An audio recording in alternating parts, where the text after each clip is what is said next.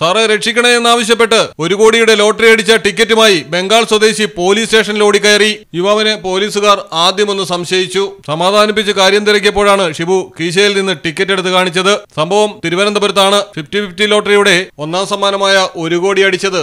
ബംഗാൾ സ്വദേശിയായ ബിർഷുറാബ എടുത്ത ടിക്കറ്റിനായിരുന്നു ലോട്ടറിക്കാരൻ ടിക്കറ്റ് വാങ്ങി നോക്കി ഒന്നാം സമ്മാനമാണെന്ന് പറഞ്ഞതോടെ ടിക്കറ്റ് വാങ്ങി ഒറ്റ ഓട്ടമായിരുന്നു ബിർഷു ബാബു പോലീസ് സ്റ്റേഷനിലേക്ക് ബമ്പറടിച്ചത് പുറത്തറിഞ്ഞാൽ ആരെങ്കിലും തന്നെ അപായപ്പെടുത്തുമെന്ന് പേടിച്ചാണ് ആണ് പോലീസ് സ്റ്റേഷനിലെത്തി ടിക്കറ്റ് കാണിച്ച് സഹായം അഭ്യർത്ഥിച്ചത് ബിർഷുവിന്റെ ആശങ്ക കണ്ട തമ്പാനൂർ എസ് എച്ച്ഒ പ്രകാശ് ഉടൻ തന്നെ ഫെഡറൽ ബാങ്ക് മാനേജരെ വിളിച്ചു വരുത്തി ടിക്കറ്റ് സുരക്ഷിതമായി ബാങ്ക് മാനേജരെ ഏൽപ്പിച്ചു പണം സൂക്ഷിച്ചുപയോഗിക്കണമെന്നും ധൂർത്താക്കി കളയരുതെന്ന ഉപദേശവും നൽകിയാണ് ബംഗാളി യുവാവിനെ പോലീസ് സ്റ്റേഷനിൽ നിന്നും മടക്കി അയച്ചത് മലയാളം ടെലിവിഷൻ തിരുവനന്തപുരം